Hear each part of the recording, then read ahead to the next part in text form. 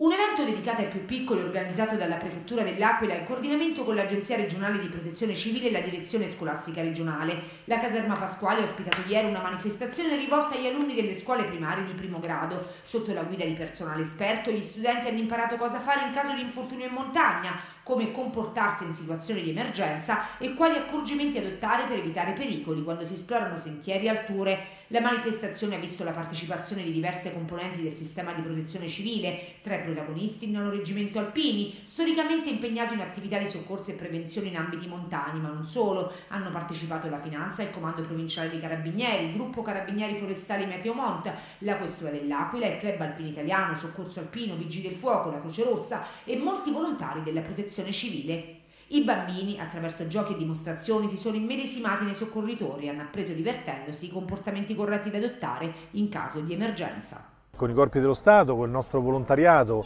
e con il sistema di protezione civile in senso generale.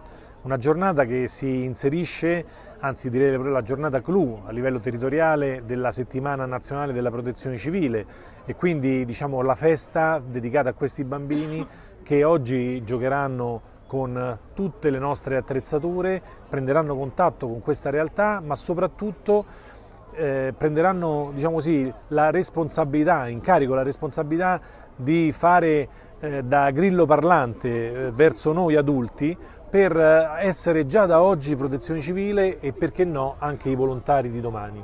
Le missioni di pace esercito italiano sono ben note a tutti, non dobbiamo stare qui a ricordarle. Fin dal 1982, dalle prime operazioni in Libano, ma anche a fare apposta in Libano che adesso è sede di quello che stiamo vedendo. L'esercito si è sempre distinto in queste missioni portando quella professionalità e quella sinergia di intenti che ha permesso di salvare infinite vite umane.